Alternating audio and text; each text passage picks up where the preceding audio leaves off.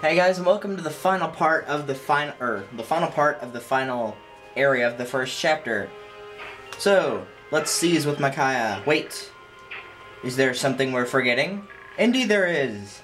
I mentioned that Tormod would, along with Miriam and Vika, would not show up after this area.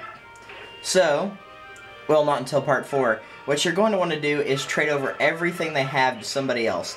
Even if that person can't use it, I'm sure Tormod's Fire and Elfire will come in handy for somebody down the road later on. If not, we can always sell it. The Black Knight will not have any use of anything he has now. Um... Okay, she doesn't have anything left, Nahala doesn't. I don't know if Rafiel stays, I don't think he does. But he doesn't have anything. So now we have everything we need. The Black Knight doesn't have anything else. You can't take their weapons, but whatever. We've won! We've taken back our country. Daein is under our control once again. Alright.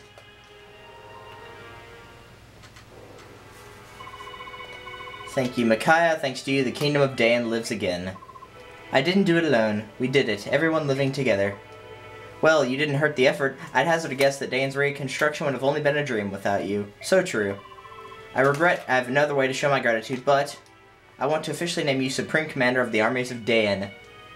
I see and I accept. It is with great honor that I assume this office. This battle may be over, but the fight to return Daein to its former glory will take time and effort. If my support can be of service, then I am honored to assist. I'm glad. Well then, I'll perform the simple ceremony. Will you kneel? In the name of King Daein, I dub thee Micaiah as Supreme Commander of Daein, and grant thee the, the authority and the responsibility pertaining thereto. What does that mean? That means Micaiah is getting a class change.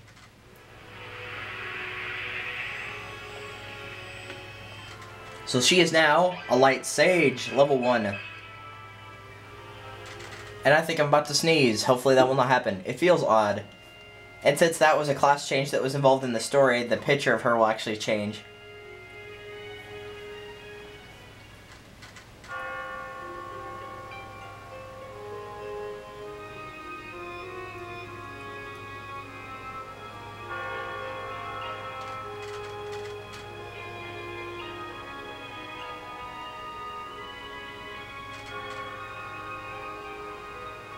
Hey, that was where we ran away a long time ago in like the second chapter.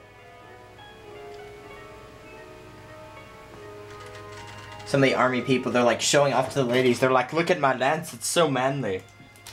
Because I am a manly man.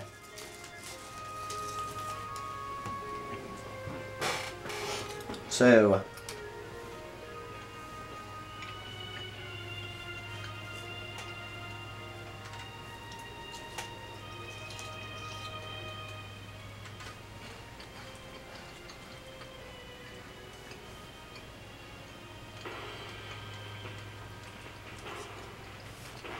I don't know why Meg's trying to escort him.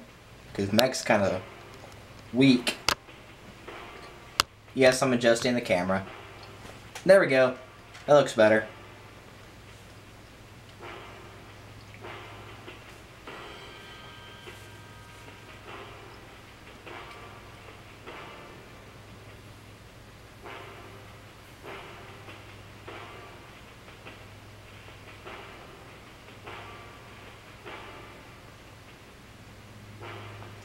He stood at the top of the stairs. What does that mean? That means apparently we have now officially won, now that he is standing at the top of the stairs.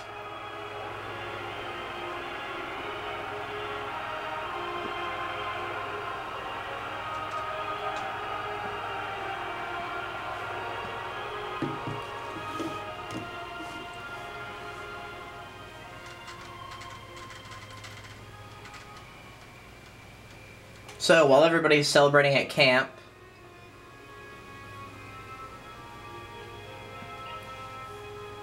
as I already mentioned, they have a conversation that they're leaving.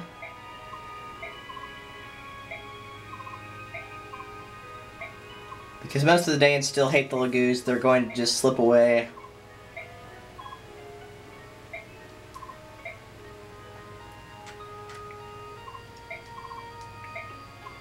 She thanks Miriam for not telling anybody that she's branded. And then the old woman that used to house her before she died told her about the mark. She told me to never let anyone see it and always be on my guard. Wise advice.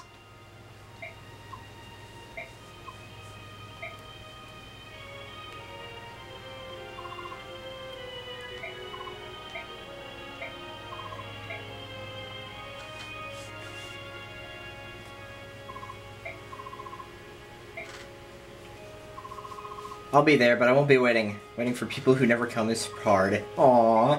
I don't care. So they choose to leave as well.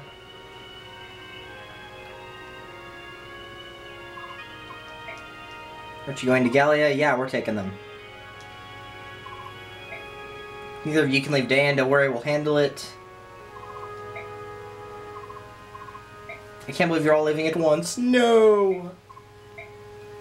And what does she do? She gives Rafiel a hug. Aww.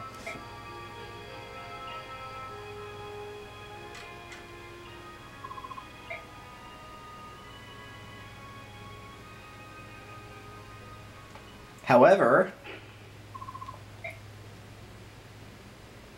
guess who decides to stay? Volug! That's right, Volug is still part of the Dan team. As if you didn't already have that annoying bird, and it starts flying over him. Ouch! Ow! Ow! Ow! Ow! I take it back! Ah, uh, funny.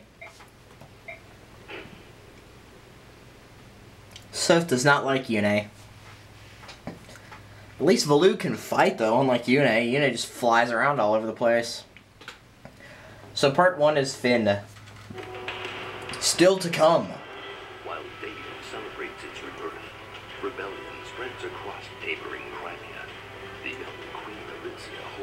Throne, but her nation is in turmoil.